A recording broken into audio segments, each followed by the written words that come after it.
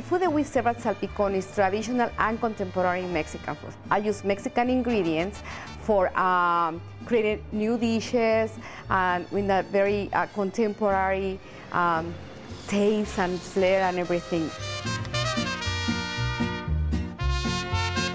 I never went to culinary school, but I've been cooking all my life. I learned how to cook when I was uh, living in Mexico when I was very, very young. And I was at home, and basically my training was from my family, from my mom, from my grandma. So, you know, I, I would say the, the cuisine is traditional in a way because I learned from them, but also I like to serve something more contemporary. Salpicon means splash, and what we try to do here is to have like a piece of Mexico in Chicago when it comes to the food, the atmosphere, the ambience. You know, you come here like in a Saturday night or something and you feel like totally you are in Mexico.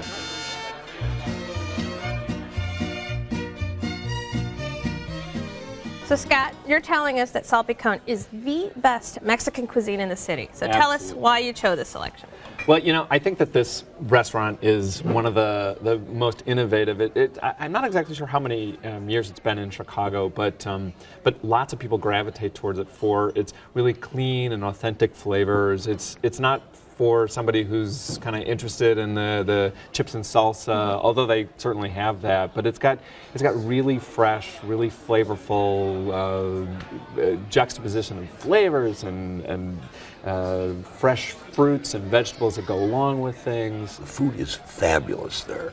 But my problem with it's not so much Salpicon as the city of Chicago is there seems now to be no middle ground between that storefront taco joint Right. and this Epicurean Right. experience. And it's a fabulous place. I had the fish when it was at the tilapia. and Oh, it was yeah, I had just that too. great. And the place is really bright Mm-hmm. and it's a nice little place. But they may be missing out on some audience who comes in there and says, I don't recognize anything on this menu. Uh-huh. So I'm a little scared. Yeah. Take that one step up and use that unbelievable creativity Right. that's obviously going on in the kitchen to sort of educate the Chicago palate. I thought it was be- if between okay and bad. I thought it was in between, to tell you the truth. Really, tell, tell me why. What?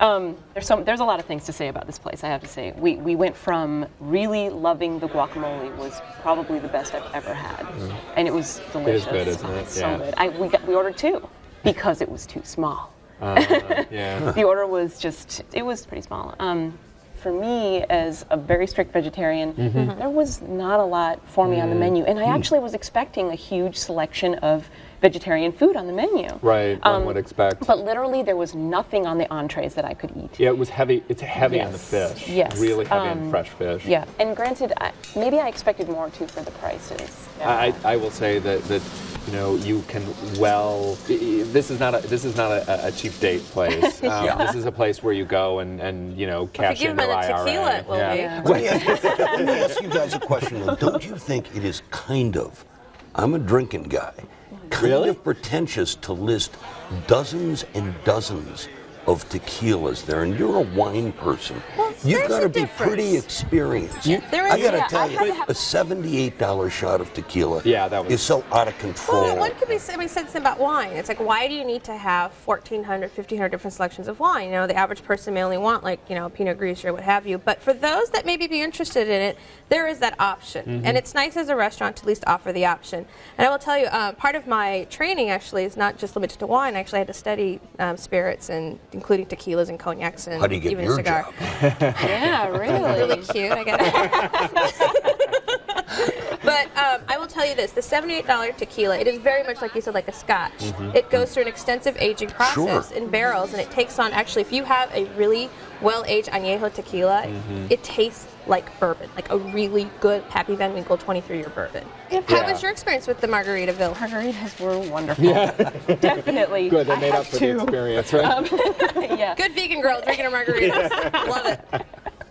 And the tortilla soup was really good. And they did go to the lengths on the appetizer listing to say that it was made in a vegetable broth, which I mm-hmm. appreciated. Mm-hmm. I tried another appetizer I could since I couldn't get an entree, uh, which was a sopes rusticos. Yeah, yeah, yeah, I had that, yeah. And I had to get them without cheese, and they were very bland without Yeah, without the cheese. cheese, they are, Yeah, yeah. But is that the restaurant's fault, though? I mean, if you're, you know, dietary restricted and they Right, can't put a certain yeah. ingredient in it, I mean, it's not really the restaurant's fault. Mm-hmm. Did you find, Rick, that the service Service was there? great. Service They was great for you? One peculiar thing.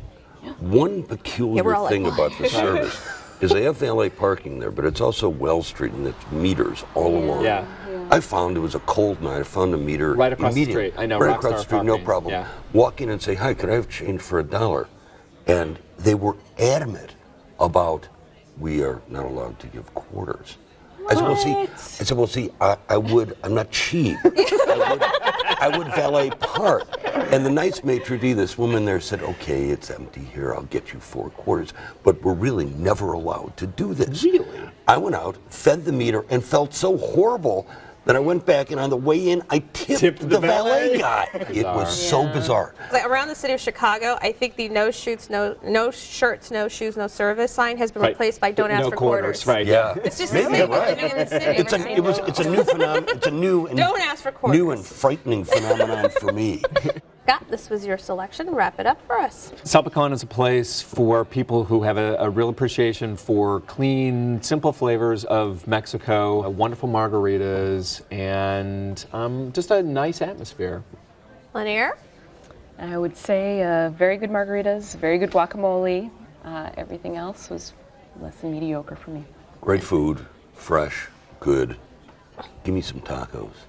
Give me some enchiladas. Give me something between Give you quarters too. the, Epic- the Epicurean delight this place is and these storefront taco joint. All right. Well, you can check out their tortillas and tequila at Salpicon, 1252 North Wells, 312-988-7811. Open for dinner every night and lunch on Sunday. Reservations are highly recommended. Average tab per person without drinks, $45.